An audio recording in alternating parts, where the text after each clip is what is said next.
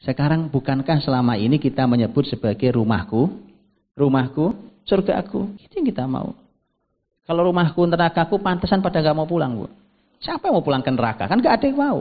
Tapi kalau rumah itu surga, siapa yang nggak mau pulang? Di luar tuh nggak betah, nggak akan betah. Itu kenapa Rasul juga mengatakan salah satu kunci rumah baik adalah wal yasa'uka baituka. Hendaknya rumahmu cukup lapang untuk menampungmu. Cukup lapang untuk menampungmu. Mungkin bermakna fisik, mungkin. Kalau anaknya 10 kan harus berpikir kamar kan? Berapa kamarnya? Beda dengan anak cuma satu. Tapi bukan hanya itu.